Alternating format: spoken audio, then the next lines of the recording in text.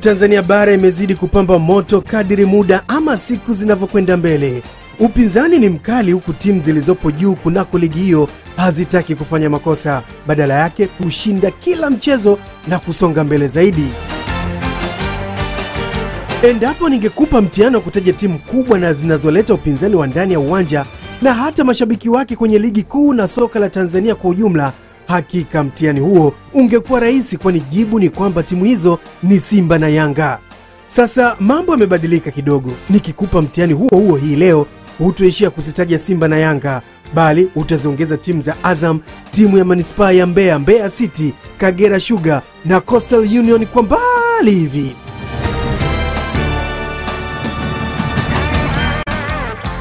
Simba ilionekana kuianza vyema ligi kuu, lakini sasa mambo yanabadilika taratibu kwa timu hiyo kushuka, huku Azam FC, Mbeya City na Yanga zikipanda. Bado haijafahamika wazi kuwa mchawi wa Simba ni nani, lakini unapotaja mihimili ya Simba kwa sasa utakuwa umekosea sana kama hutomtaja kiungo chipukizi Jonas Mkude. Kutokana na umuhimu wake Simba Sports Club ama wekundu kutoka mtaa wa Msimbazi, Crew ya michezo ya Clouds TV imefanya naye mazungumzo ili kukufahamisha mawili matatu juu ya kiungo huyu anayekuja vyema. Swali kubwa unaweza kujiuliza kuwa Mkude ametokea wapi ama historia yake ya soka imeanzia wapi? Nilianza na Mwanza United kwa sababu nilikuwa nacheza katika timu yangu moja ya Kinondoni inaitwa Ananasif Combine.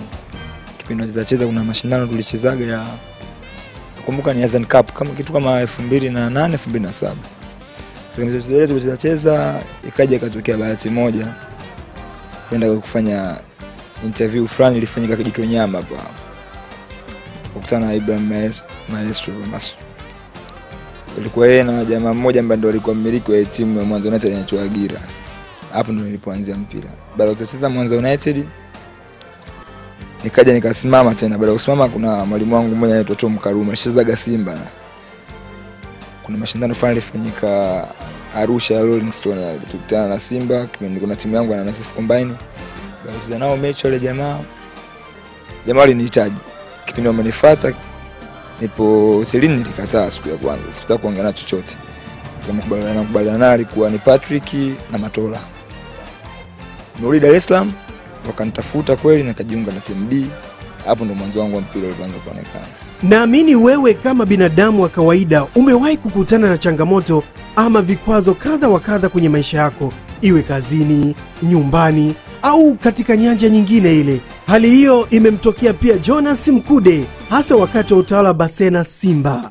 Unapofika kwenye timu timu yote lazima kutana na changamoto ya kucheza sidhani kama unaweza kwenye timu tu afu hapo hapo kafika tu kaanza kucheza ni kitu kigumu sana kweli nimefika pale nikiwa kama mgeni sikuweza kupata nafasi sema kumbukumbu yangu moja ambayo nanikumbusha kwamba alikuwa kuna mechi na Azam mchezo wa uhuru pale.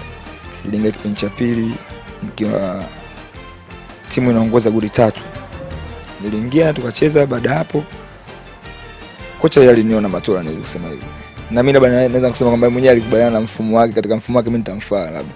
Mechi ya kwanza ambayo naanza kucheza ni taifa ambayo ilikuwa Simba na Yanga ambapo alianza timu timu B baadaye akaja timu kubwa nakumbuka nani kitu ambacho nakikumbuka kwamba timu timu kubwa ilifungwa goli moja bila sisi tupocheza tutoka moja moja yani baada ya kuingia kwenye first 11 kucheza mechi na Yanga sikuweza kutoka tena mpaka dakika ya mwisho nacheza mimi nacheza niko timu B na majeruhi Kama Jonas alivyosema katika timu ya Simba, alianzia kwenye kikosi B cha timu hiyo kinachonolewa na mchezaji wa zamani wa Simba pia Suleiman Matola.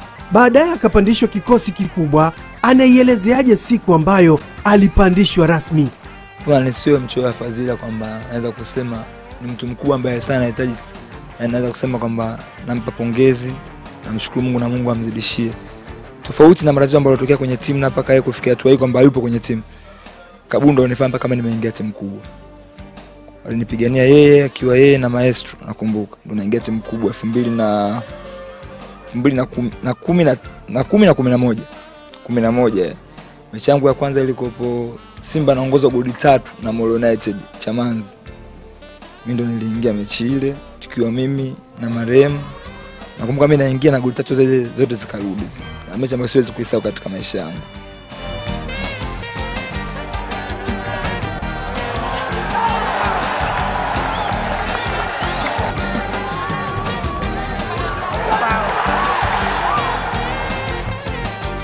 Naweza kusema miongoni mwa mechi kubwa ambazo Jonas Mkude amecheza mpaka sasa ni pamoja na mechi ya mzunguko wa kwanza wa ligi kuu Tanzania bara kati ya Simba na Yanga uwanja wa Taifa jijini Dar es Salaam.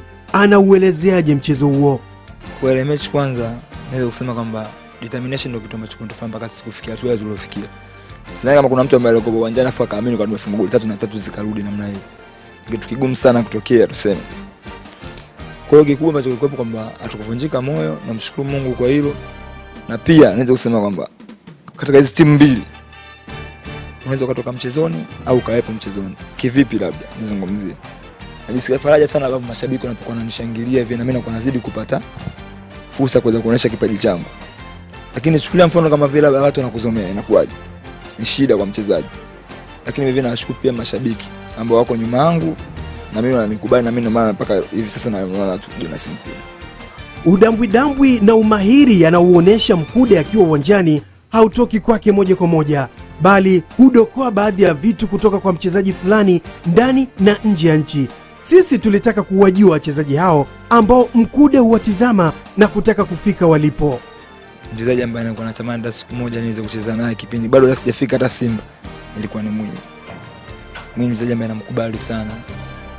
Naenda kusema Mwenyezi Mungu azidi kumzidishia mfungulie njia huko alipo.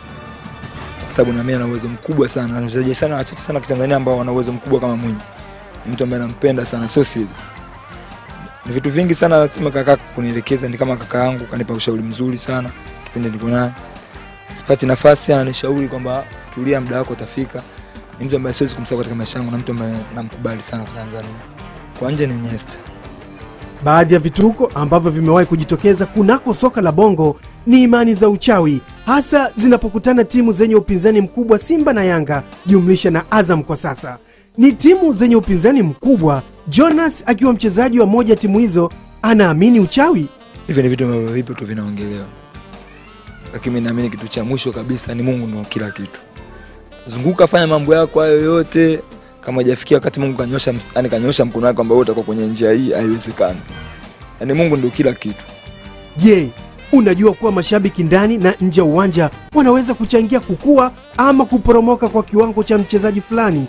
Simba ikiwa ni miongoni mwa timu kongwe nchini, ina mashabiki wengi. Jonas anawapa nafasi gani mashabiki wake katika soka lake? Naweza kusema kwamba bila mashabiki kuwa na mpira unakuwa ni mgumu sana. Moja, kwanza lazima ukubaliana na ile hali ambayo umeikuta. Nadhani mashabiki wa Simba na Yanga walianza ni muda mrefu sana uwepo. Kwa hiyo ni moja ya changamoto ambayo wananifanya nizidi kuonesha uwezo wangu kwamba wale ndio wananipa mimi fursa ya kuweza kucheza mule ndani. Kwa hiyo changamoto ile nimeweza kukutana nayo nikiwa Mwanza United, japokuwa mashabiki wa Mwanza United na Simba na vitu viwili tofauti.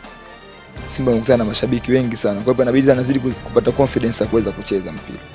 Tofauti na Jonas Mkude, wachezaji wengine wenye umri mdogo wanaofanya vizuri nchini ni pamoja na kiungo wa Yanga Frank Domayo, kijana Juma Luizio wa Mtibwa, Joseph Kimwaga na wengine wengi. Cha muhimu ni wachezaji hawa kutovimba vichwa, badala yake wafanye kazi yao kwa ufanisi zaidi kwa faida yao binafsi na taifa kwa ujumla.